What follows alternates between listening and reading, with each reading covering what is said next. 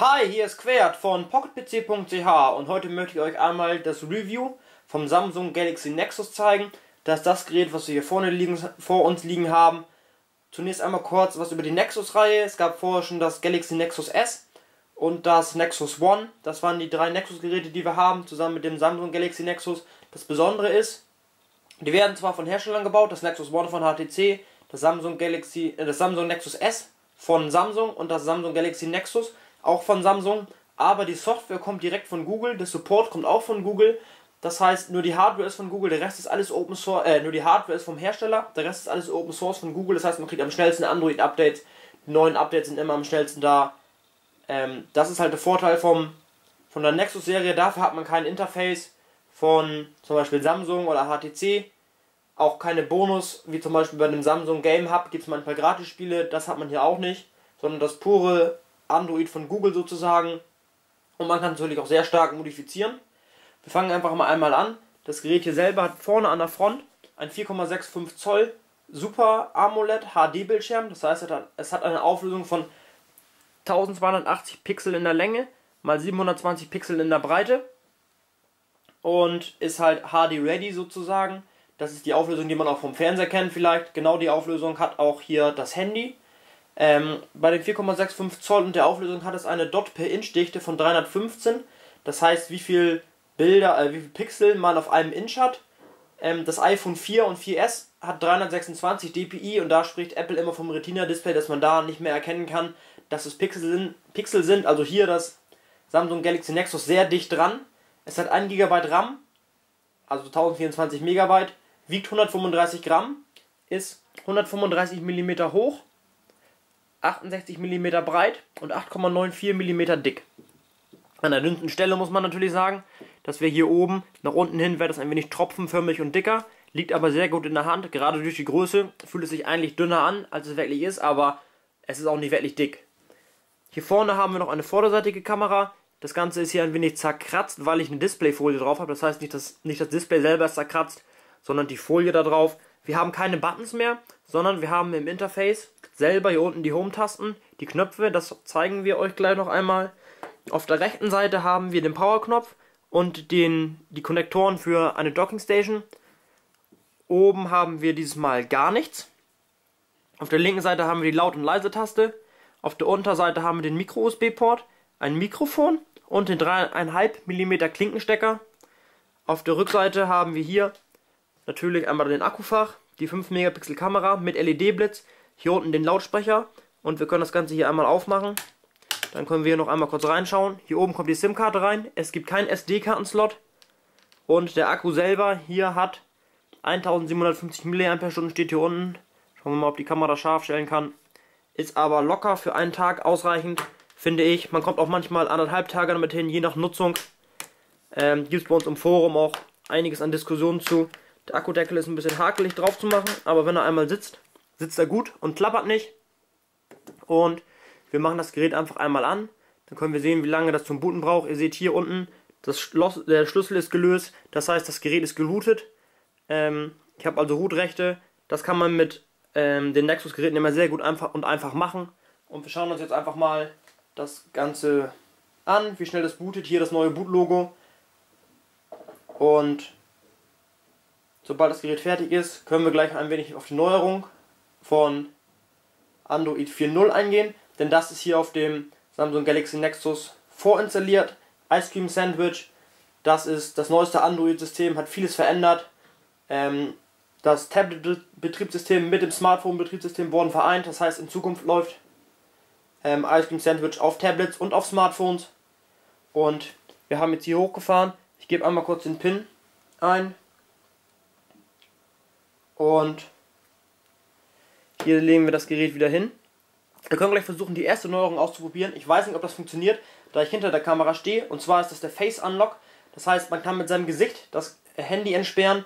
Ist zwar nicht ganz so sicher, weil der Angreifer, wenn jemand das, äh, ich sag jetzt einfach Angreifer oder der Dieb, muss auch einfach nur ein Bild von dir davor halten und das Gerät erkennt das. Aber wie wahrscheinlich ist das, wenn ich mein Handy in der U-Bahn verliere, dass jemand ein Bild von mir dabei hat? Versuchen einfach mal das Ganze zu entsperren. Ich versuche mal über die Kamera zu gucken.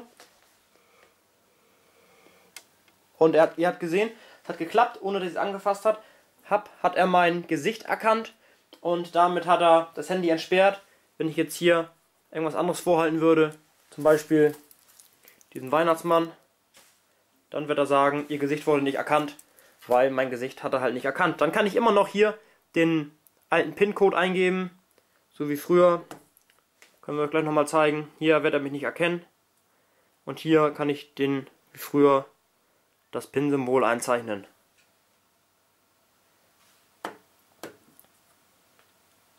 Wir können einfach einmal kurz anfangen mit ein paar Sachen, die ich hier vorbereitet habe. Und zwar das Multitouch können wir testen. Wir haben hier einen Fingerwert erkannt, zwei Finger, drei Finger, vier Finger, fünf Finger, sechs Finger werden auch erkannt, sieben Finger, acht Finger, neun kann ich leider nicht mehr sehen, aber sieht so aus.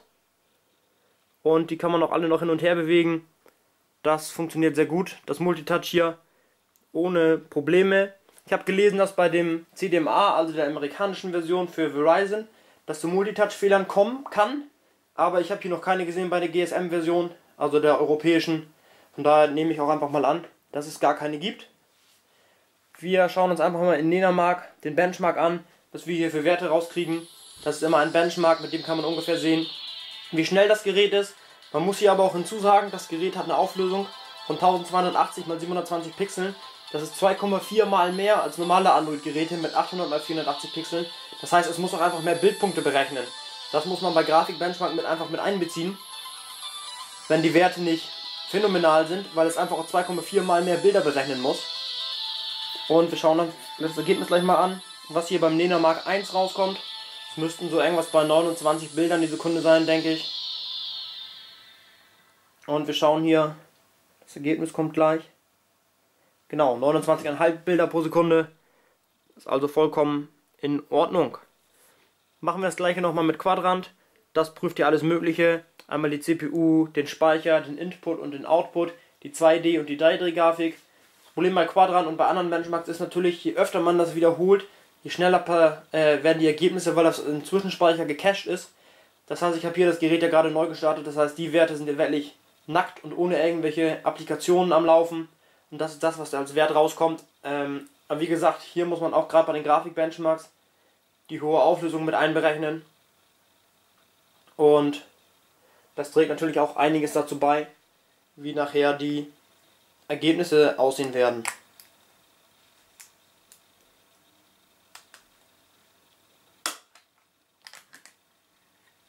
Während der Benchmark läuft, habe ich hier nochmal ähm, das iPhone 4S. Das können wir daneben legen. Da können wir in der Größe einmal sehen, wie der Unterschied ist.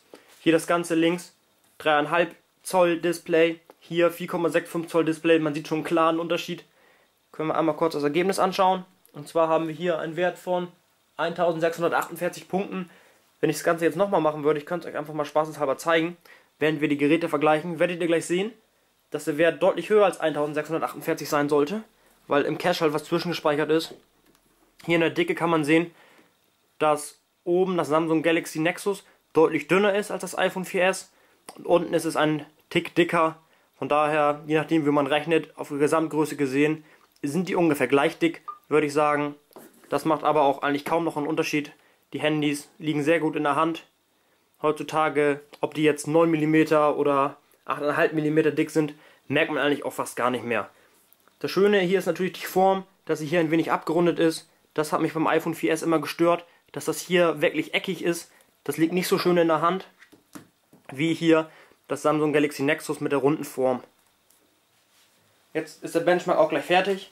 Und wir sehen, eben hatten wir 1648 Punkte, wenn ich mich nicht irre. Jetzt beim zweiten Mal haben wir schon 1000, bevor die Kamera zu halten, 1939 ist also ein klarer Unterschied im Vergleich zu eben, obwohl der gleiche Benchmark ist. Nur wir haben ihn halt ein zweites Mal ausgeführt. Da sind einige Sachen im Cache drin. Jetzt machen wir das Ganze nochmal mit Smartbench. Das ist auch einfach ein Benchmark-Programm. Aber da könnt ihr selber mal vergleichen. Ist wie gesagt durch das Display hier nicht ganz so aussagekräftig, aber es kommen in Zukunft halt auch neue Geräte mit 720p Display raus. Dann könnt ihr das auch vergleichen.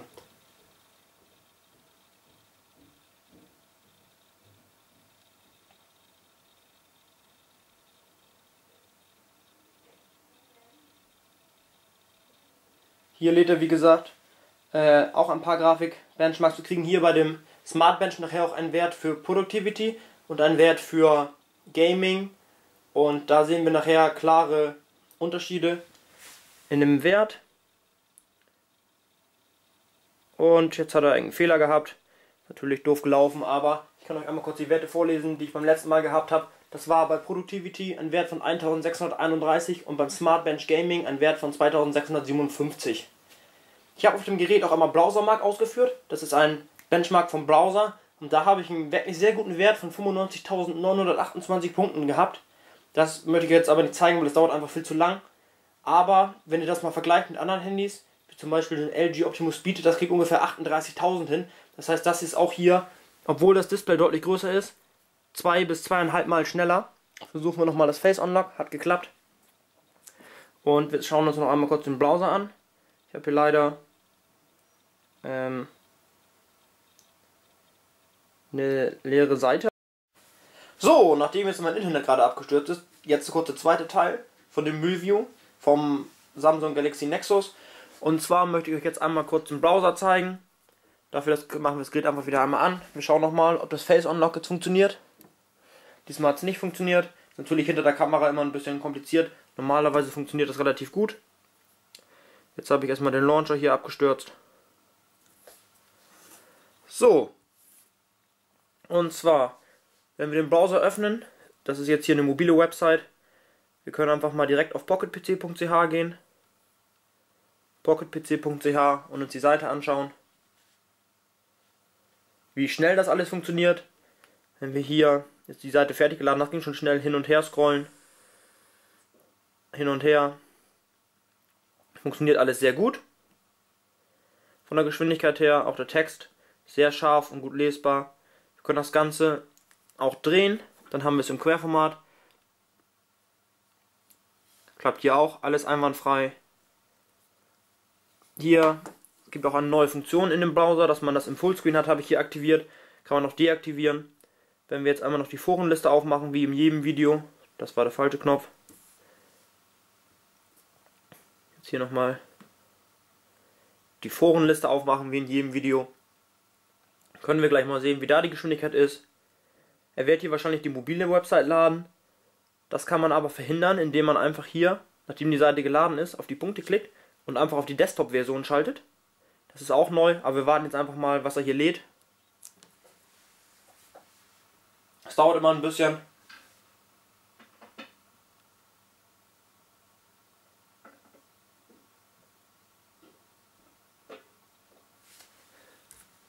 Ein bisschen zu lange, wir können direkt schon mal auf Desktop-Vision klicken, ob er dann was tut.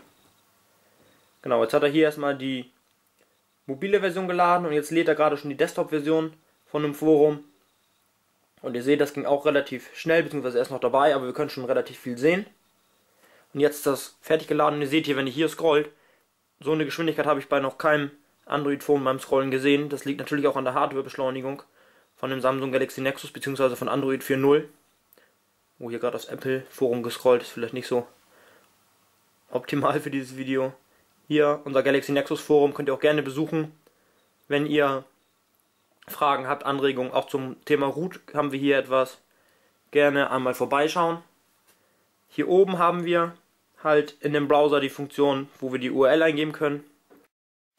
So, auf dieser Seite sehen wir äh, eine Vorschau von allen Tabs, die wir gerade offen haben. Hier oben können wir noch auf Lesezeichen klicken. Da kann ich einmal kurz rübergehen, weil meine E-Mail-Adresse oben steht.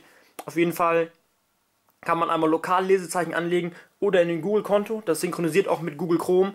Das heißt, man hat immer alles dabei, was man auch auf dem PC kennt.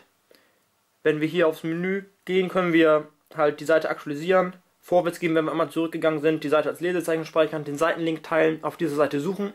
Entschuldigung. Die Desktop-Version an- oder ausschalten für Offline-Lesen speichern oder uns die Einstellungen anschauen. Und Einstellungen können wir machen unter allgemein eine Startseite, automatisch füllen und Autofill-Text. Datenschutz und Sicherheit können wir alles mögliche Caches, Passwörter speichern und so weiter. Standort aktivieren, Bedienungshilfen, äh, kann man die Textgröße sehen, Textskalierung und so weiter mit einem kleinen Vorschaubild. Das kann man hier sehr gut verändern. Unter erweitert können wir die Suchmaschine festlegen, ob die Seiten im Hintergrund geöffnet werden sollen, JavaScript aktivieren, Plugins nach äh, aktivieren, habe ich immer nach Bedarf. Das heißt, Adobe Flash läuft zwar, kommt aber so eine kleine Box und erst wenn man sie anklickt, wird das, der Flash-Inhalt äh, geladen. Dann kann man den Zoom anpassen und so weiter, alles mögliche Standardeinstellungen. Und unter Labs ist neu, da kann man einmal äh, zwei Akt Sachen aktivieren. Einmal Schnellsteuerung, das ist Daumen von links oder rechten Rand ausziehen, um Schnellsteuerung zu öffnen und App und URL-Leisten auszublenden. Und einmal Vollbildmodus zum Ausblenden der Statusleiste verwenden. Das habe ich hier gemacht. Jetzt seht ihr hier, habe ich die Statusleiste. Wenn ich jetzt im Browser bin, ist die Statusleiste weg. Wir haben natürlich hier auch eine Tastatur. Das ist die neue Tastatur von Android. Die funktioniert sehr gut. Ähm, ist hier im Browser vielleicht nicht gerade optimal zu zeigen. Wir machen mal eine neue Notiz. Könnt ihr hier sehen, die Wortvorschläge funktionieren relativ gut. Man kann auch, wenn man jetzt ein Wort hat, hier lange auf diesen, dieses klicken und er versucht verschiedene Sachen zu finden, die zu diesem Wort passen. Also man hat deutlich mehr Möglichkeiten. Die Korrektur ist auch sehr schnell. Gibt auch wieder eine Spracheingabe. Hallo, hier ist Quert von pocketpc.ch. Okay, er hat jetzt irgendwie, obwohl unten Deutsch steht, hat er das versucht auf Englisch zu lösen.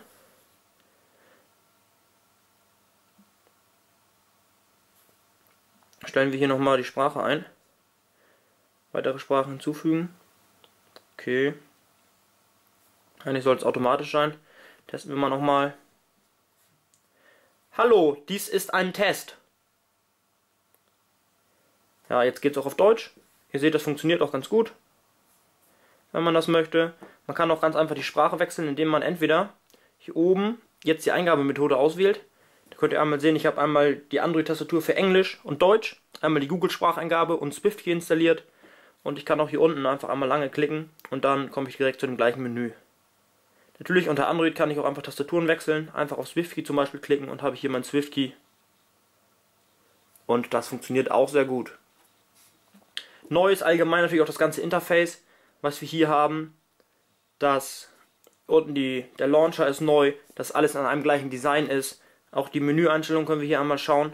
Wenn ich hier auf Einstellungen gehe, seht ihr direkt, das sieht alles wie aus einem Guss aus und funktioniert sehr gut. Neu ist auch das Datenverbrauch-Widget, beziehungsweise ist kein Widget, ist, eine, ist ein Programm. Das zeigt an, wie viel Daten wir wo, wann, wie verbraucht haben. Hier habe ich das aktiviert. Man, äh, meine Daten werden am 8. zurückgesetzt. Das heißt, ich habe jetzt seit dem letzten 8. 22 Megabyte mobile Daten verbraucht. Davon Google Plus, was ich gar nicht benutze. 8,94 Megabyte. Da muss ich vielleicht schauen, ob ich da nochmal was verändern kann, weil benutze ich sowieso nicht. Läuft nur im Hintergrund und ich habe einfach kaum Freunde auf Google Plus. Weil, wenn wir mal, sind wir mal ehrlich, so richtig viele Leute benutzen Google Plus nicht momentan.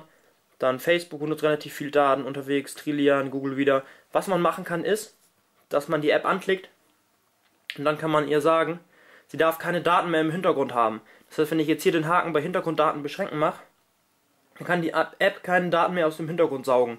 Das wäre hier bei Google Plus so, ich habe im Vordergrund die App noch nie benutzt. Das heißt, ich habe 0 Bytes im Vordergrund und 8,94 Megabyte im Hintergrund. Das heißt, wenn ich die App nicht anhab, benutze ich auch keine Daten. Das ist ganz gut, vor allen Dingen bei einigen Apps wie zum Beispiel Facebook, die doch manchmal gerne relativ viele Daten senden, auch wenn es nicht an ist, kann man das da einmal ganz gut machen. Neu ist natürlich auch dieser Multitasking-Button, den wir hier unten haben. Ähm, mit dem kann man die verschiedenen Applikationen, die wir gerade haben, sehen und man kann sie einfach nach rechts schieben zum Löschen nach links geht natürlich auch, so wie hier gerade im Video. Man kann aber auch lange drücken.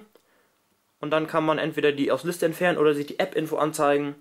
Das ist hier, man kann die dann stoppen, erzwingen, man kann sie deinstallieren, man kann die Daten löschen. Wenn es ein Standard wäre, kann man sie standardmäßig setzen, zum Beispiel für eine Tastatur oder einen Launcher. Man kann Informationen darüber sehen. Und das war es eigentlich auch schon. Loben möchte ich bei dem Samsung Galaxy Nexus vor allen Dingen nochmal die Empfangsqualität. Ich habe in einigen Bereichen, ähm, kenne ich Punkte, wo ich kaum Empfang habe. Und wenn ich da mein Handy früher in der Hand genommen habe, dann hatte ich oft gar keinen Empfang. Beim iPhone 4S war das so. Dort hatte ich da Empfang aufgrund des neuen Antennendesigns. Und auch bei dem Samsung Galaxy Nexus habe ich dort Empfang. Also auch die Antenne von dem Samsung Galaxy Nexus ist sehr gut. Das äh, ist natürlich sehr schön gemacht. Hier ist natürlich auch Android für 0 drauf. Es hat natürlich, wie ich vorhin schon gesagt habe, den Vorteil der Hardwarebeschleunigung. Dadurch ist alles wirklich viel schneller. Nächster Vorteil ist auch, dass man die Geräte verschlüsseln kann. Das kann man Kann ich euch gleich mal zeigen, wenn hier das Face Unlock funktioniert. Hat es natürlich wieder mal nicht. Weil hinter der Kamera ist es nicht ganz so einfach mit dem Face Unlock und da muss auch ein bisschen noch dran gearbeitet werden. Schön wäre auch gewesen, dass man eine LED vorne hätte, die einen beleuchtet im Dunkeln, sodass auch im Dunkeln Face Unlock funktioniert. Geht natürlich momentan noch nicht. Jedenfalls unter Sicherheit kann man das ganze Telefon verschlüsseln. Und dann wird es aber deutlich langsamer, aber man hat halt die Daten komplett geschützt und man muss beim Starten einen PIN eingeben. Ohne PIN kann man hier nichts machen. Android 4.0 ist ein großer Schritt nach vorne. Alles wirkt für mich deutlich flüssiger, deutlich durchdachter, deutlich schneller. Es ist einfach ein großer Schritt nach vorne, alles aus einem Guss. Und deswegen ist das Samsung Galaxy Nexus für mich auch aktuell das beste Android-Telefon, was auf dem Markt ist. Wenn euch das Video gefallen hat, abonniert doch unseren Channel oder besucht uns auf www.pocketpc.ch. Das würde uns freuen, auch wenn ihr hier wieder einen Daumen hoch geben würdet, das Video favorisieren würdet, kommentieren würdet, eure Freunden schicken würdet. Vielen Dank fürs Zuschauen und bis zum nächsten Mal.